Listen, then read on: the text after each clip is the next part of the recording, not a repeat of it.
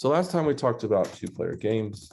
And basically, there's a particular type of two-player game called a combinatorial game, and it has these these properties. One is you cannot go backwards. Another is the same moves are available to both players. And a third is if player if a player cannot make a move, they lose. All three of the games that you watched videos on and analyzed, all three of those games have this property that they you can't go backwards, like you can't put things back in the pile. The same moves are available to both players, and if a player cannot make a move, they lose. Let's look at something like seven, comma three, two, toothpick takeaway, or just takeaway. You can't go backwards. What does that mean? You're only allowed to remove objects from the pile.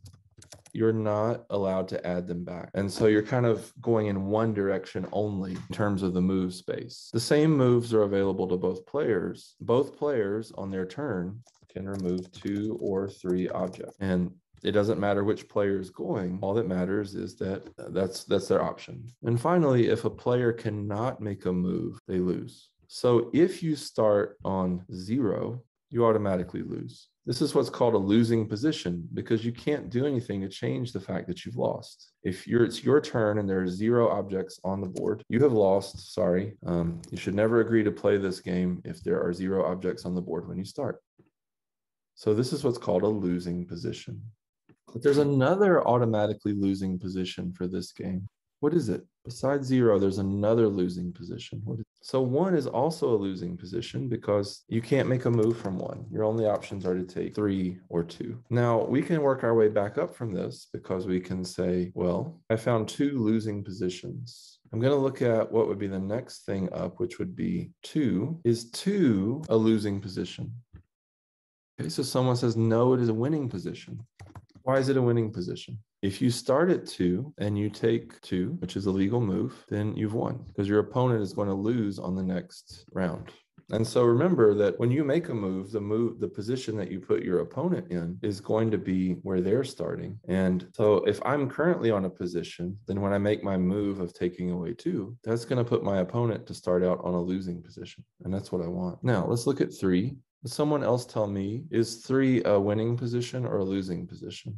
Okay. So what can you do from three to make your opponent lose? Yep.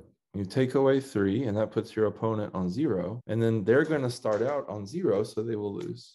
All right. So now here's the tricky part. These were kind of straightforward because if you have three, you want to take away three. Now let's look at four. With four, I have two choices. I could either take away two, which would lead me to uh, which would lead my opponent to be on two, or I could take away three, which would leave my opponent to be on one. Those are my two legal moves take away two or take away three. Which one should I do? Should I take away two or take away three?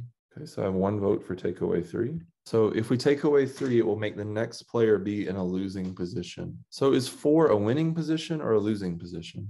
Four is a winning position because I can put my opponent on a losing position. So when we look at games like the ones that we looked at a minute ago, where it has those three properties that uh, you can't move backward. Both players have the same set of moves. And the important thing is a player who cannot move loses. If you have these three properties, then you can do some things here. You can create a directed graph for the positions of the game. And every position will either be a winning position or a losing position. All right. So a winning position is one where it is possible to put your opponent on a losing position. Now, this is an important distinction. I'm saying it is possible. I'm going to try to do a cool 3D effect. Let's see if it works. What do you think? Is that ready for the metaverse? Or does it also need some blue? There we go. Winning position, it is possible to put your opponent on a losing position. Now, four, I could have, I could have put my opponent on two, and that would have been giving away the game.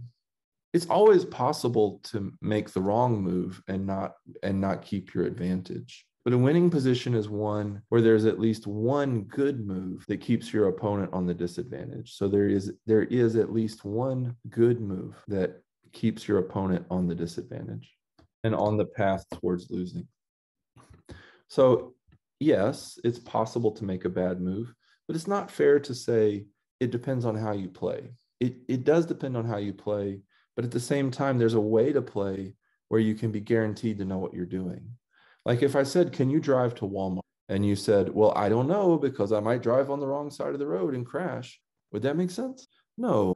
The fact that it's possible to do the wrong thing doesn't mean that it depends on that it depends. The way to win the game and be 100% certain that you will win. And it comes from this analysis. If someone is on a losing position, it's not a moral failing. Like it's not like they're not smart enough to win. It's that the structure of the game is such that they cannot win if their opponent does not make a mistake. So a losing position is one where there's nothing you can do to avoid putting your opponent on a position where they will win. A good example of this would be five. If I look at this five position, there are five things on the board. What are my options when I start with five? Well, I can either take two and put my opponent on three, or I can take three and put my opponent on two. But either way, they're going to win from there. So five is a losing position.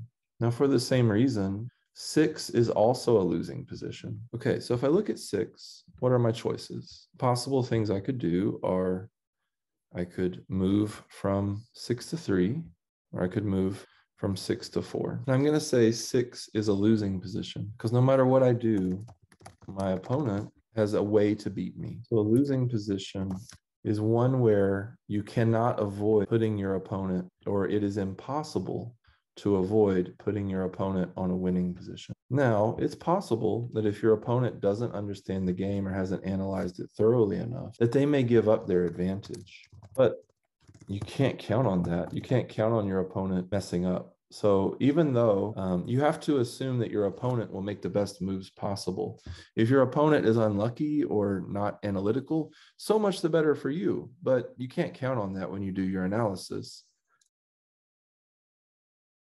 So the winning the winning strategy for this game is to go first, take two. And then in this case, it's kind of interesting.